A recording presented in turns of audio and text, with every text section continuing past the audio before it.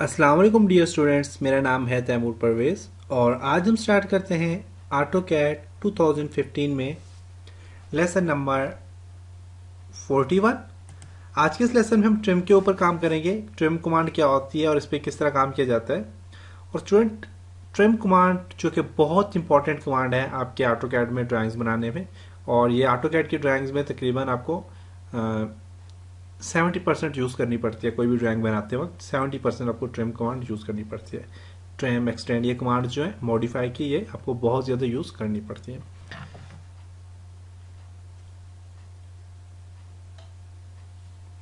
उसके अलावा आपको जो मॉडिफायर टूल मॉडिफायर जितनी भी टूल्स इसमें जितनी भी टूल्स हैं, वो सारे के सारे आपको बहुत ज़्यादा यूज़ करने पड़ते हैं कोई भी ऑब्जेक्ट में मॉडिफिकेशन करने के लिए। मीन आपने अगर ऑब्जेक्ट कोई बनाया, कोई भी चीज़ की है उसमें चेंजिंग लाने के लिए, या उसमें आपने ऑब्जेक्ट को एक मॉडिफिकेशन करने के लिए आप उसमें यूज़ करते हैं।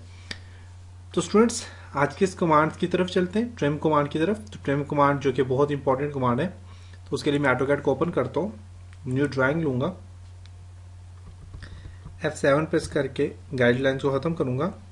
और ट्रिम की जो शॉर्ट कमांड होती है, वो होती है T R enter T R enter trim के लिए होती है और यूनिट सेट करता हूँ मैं अभी। Engineering zero foot zero inch okay dimension के लिए D enter modify architecture sorry engineering zero foot zero inch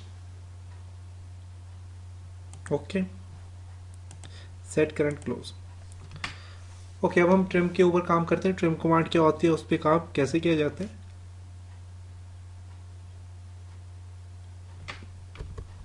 इसके लिए मैं एक रेक्टेंगल लेता हूँ। तो आप देखिएगा रेक्टेंगल के ऊपर ये कमांड अप्लाई नहीं होती। ये कमांड हमेशा क्रॉस जहाँ से कोई लाइंस आपस में, आपस को इंटरसेक्ट कर रही हो या फिर क्रॉस कर रही हो तो वहाँ पे ये कमांड अप्लाई होती है, वहाँ पे ये काम करती है।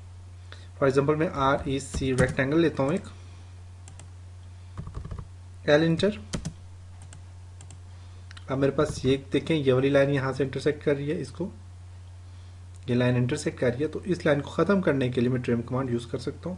यहाँ पे टी आर इंटर करता हूँ शॉर्ट कमांड है टी आर उसके अलावा आप यहाँ पे जाके तो आप यहाँ पे देखेंगे ट्रिम कमांड आपको अप्लाई की हुई नज़र आ रही होगी।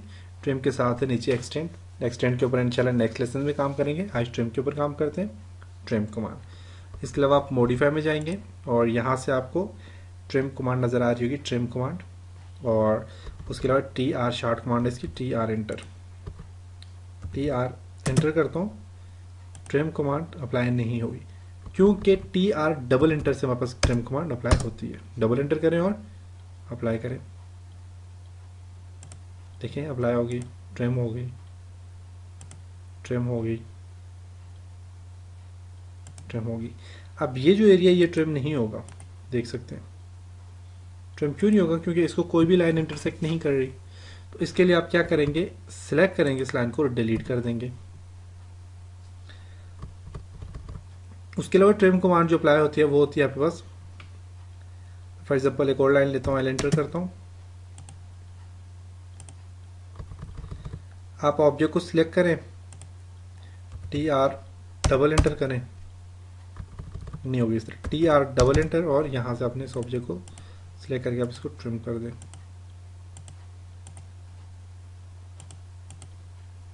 देख सकते हैं। तो ये हमारे पास ऑब्जेक्ट ट्रिम हो गया।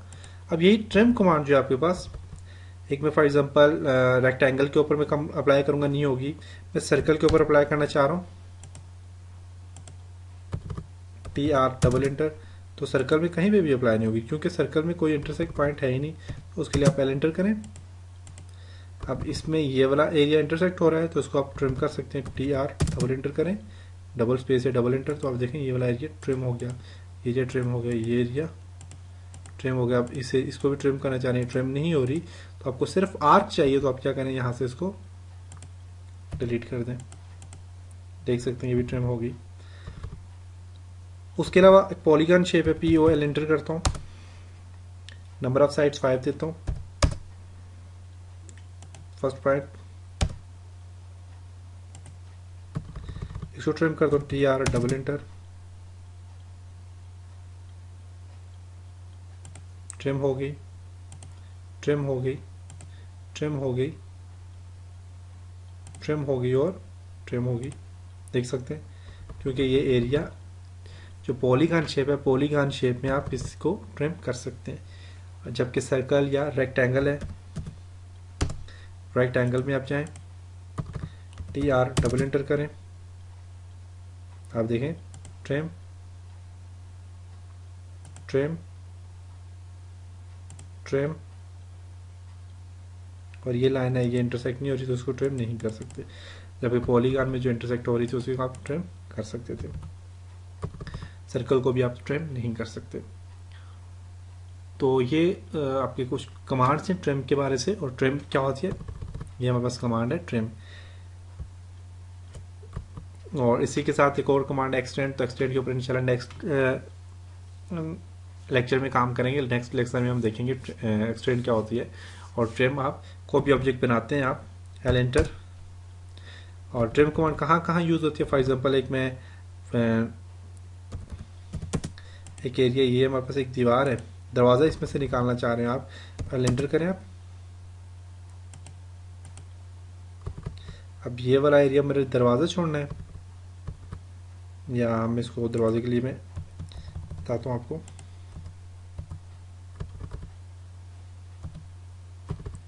L enter F eight trim T R double enter. देखें, ये वाला एरिया मैंने दरवाजे के लिए छोड़ दिया। दीवार और ये बीच में दरवाजे के लिए मैंने जगह छोड़ दी। तो यहाँ पे इस एरिए के लिए, ऐसी जगह के लिए आप ट्रिम कर सकते हैं। या फिर एल एंटर करता हूँ मैं यहाँ से। एल इंटर मैंने यहाँ से इस ये वाला एरिया मेरे पास। टी आर डबल इंटर करता हूँ। और इसको डिलीट कर देंगे ट्रिम नहीं हो रही तो। देख सकते हैं। इस तरह का मैंने एरिया बना लिया इस तरह की मैंने शेप बना ली। तो आप यहाँ पे इस तरह की शेप्स भी बनाने के लिए ट्रिम यूज़ कर सकते हैं। या फिर आप फॉर एग्जांपल मैं यहाँ से एल एंटर करता हूँ।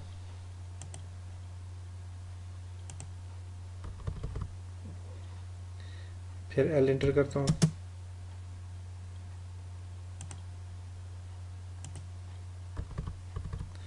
इस चीज़ों को ट्रिम करना चाह रहा हूँ तो टी आर डबल एंटर देख सकते हैं, ये मैंने इस तरह की एक शेप बना ली। तो आप यहाँ पे काफ़ी सारी शेप्स बनाने के लिए आप ट्रिम कमांड यूज़ कर सकते हैं, जो कि और किसी तरीके से नहीं बनती। आप यहाँ से इसको ट्रिम कर सकते हैं। या फिर मैं एक पी ओ एल पॉलीगान लेता हूँ। नंबर ऑफ़ साइड्स फाइव थी मैंने।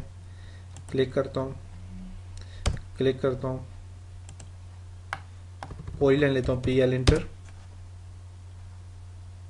एक स्टार की शेप बनानी है मैंने for example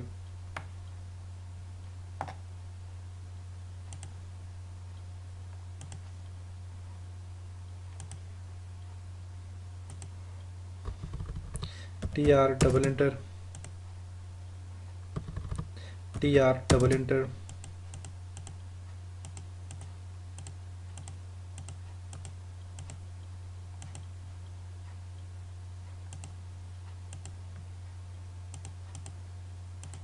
देख सकते हैं। एक स्टार की शेप बन गई। तो काफ़ी सारी जगह पे आप यूज़ कर सकते हैं ट्रिम कमांड को। जहाँ पे भी आप चाहें, आप यहाँ इसको यूज़ कर सकते हैं। तो उम्मीद करता हूँ आपको इस लेसन की समझ आई होगी। इंशाल्लाह नेक्स्ट लेसन में मिलेंगे। तब तक अपना ख्याल रखिएगा, अपनी दुआ में याद रखिएगा और इन लेसन्स को बार बार काम कीजिएगा बार बार इन पर प्रैक्टिस कीजिएगा, ताकि आप आसानी से और अच्छे तरीके से आप एक प्रोफेशनली कोई ड्राइंग्स बना सकें। नेक्स्ट लेसन में मिलते हैं। तब तक अपना ख्याल रखिएगा। खुदा हाफिज़।